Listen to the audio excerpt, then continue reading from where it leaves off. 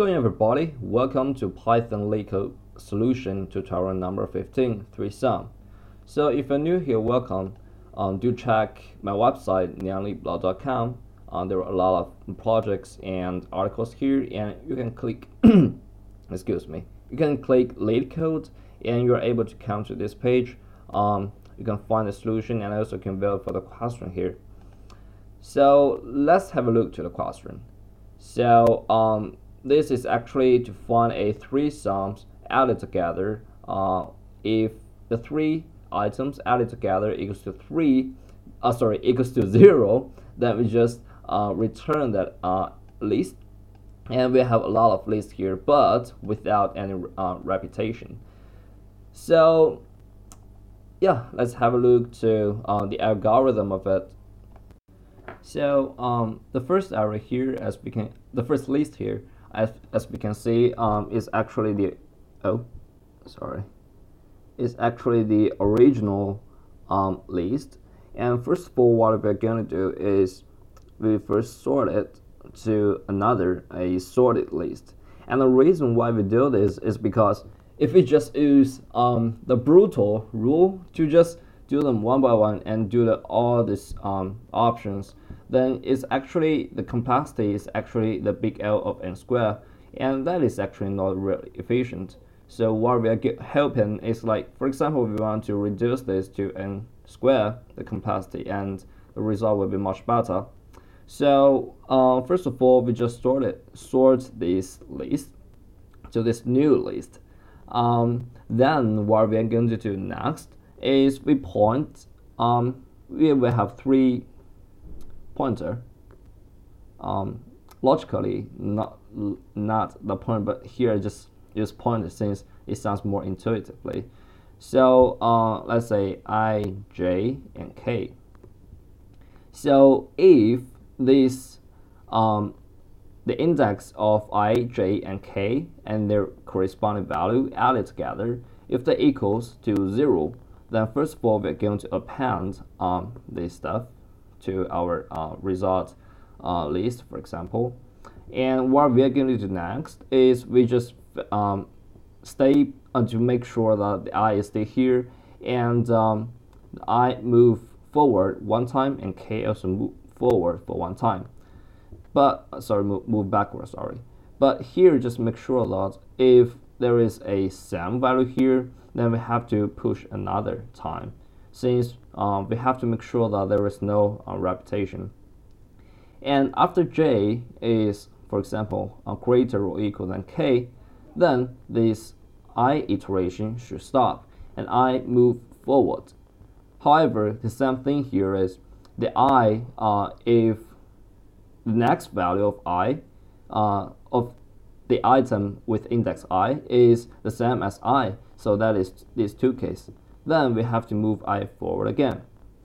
And if there is, let me clear it. If um, the uh, j and k added together, and that is uh, smaller, for example, smaller than k, uh, sorry, smaller than zero, then we have to make sure that j goes up since right now the i is focused and um, the j and k added together is smaller than a certain value. So we have to make sure that um, make sure that um, the value with j with index j and k added together will be larger. And in that case j should be moved right um, sorry j just plus one. And the same logic if k if the uh, j and k added together uh, is smaller than uh, is greater than one, then k should be smaller. Okay, so let's take a look and how to write a code on it. So um, I've put um, the class solution here and also um, um, initialized the, the variable here. So later on, when we finish our class, then we are able to uh, testify our um, solution. So first of all, um, our nums should have sort so we just sort our nums and um, next we have a result that is our um, list. So every time when we have um, when we want to append uh, a list then we just append to result and um, next what we are going to do is we just um, for i in range um, length nums. And here we need to minus 2 since i is the first index uh, there were two other different uh, that is j and k. Later I will show you. Um, there were other two larger indexes after it so we have to minus 2 and um, if i greater than 0 and uh, nums i i minus 1 so the reason here is first um, if if this happens then we have to continue. And the reason why is because of this. So first of all uh, if it comes to the next i that is after um, our iteration afterwards um, if this is equals to uh, the previous one then we have to jump it. Since we don't we don't want to see uh, any repetition.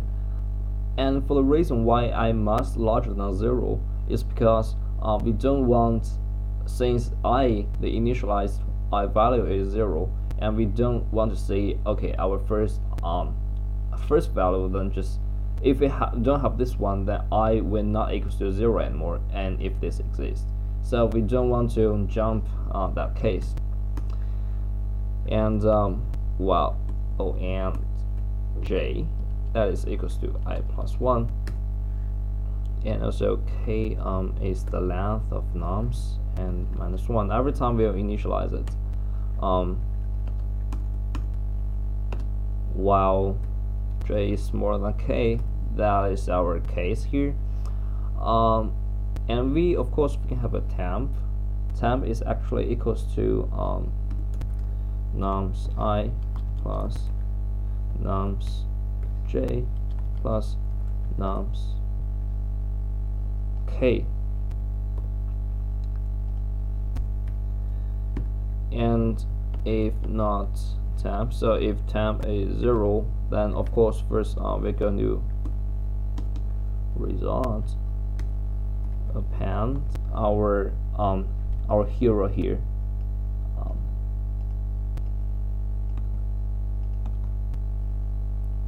and just to make sure that this is the list don't get confused. And um, nums j. Equals to nums um, j plus 1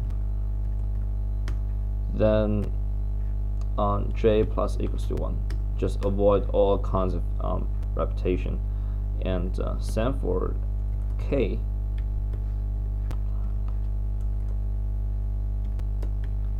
and here is k minus 1 since k at the first beginning is at the bottom at the rear of the list. K minus equals to 1 then j plus equals to 1 and uh, k minus equals to 1 else if um, temp is greater okay smaller then we have to increase the value and in that case is j um, plus 1 else. K minus 1 um, that is the case. Um, everything should be fine. After the for loop then we just return our results. And let's see what happens here. Okay cool. So this is exactly um, the result that um, we would like to see here okay so let's uh, analyze the complexity here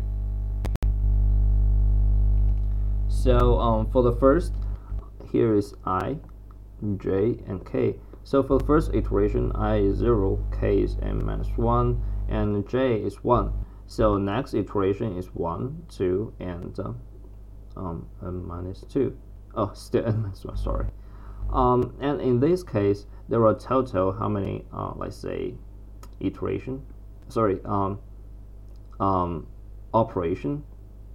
And uh, here, and we just consider the worst case. The worst case here is we just ignore all this stuff, and we just uh, no no equal part, and we just go this part so every time it's just one by one so that is n minus 1 minus 1 and here is n minus 1 minus 2 minus 2 and so on and so forth uh, here n minus 1 minus 2 minus 3 and this is 1 so if we add all these operations together that is the worst case then it's actually big L of n squared uh, one thing we also need to pay attention here is is we also use a sort function here. And sort function is actually the complexity of big L of n log n. So if we compare these two together um, then we added them together then we take the larger part that is big L of n squared and that is much um, much more uh, simpler or you could say more efficient compared to our brutal method that is big L of n cube.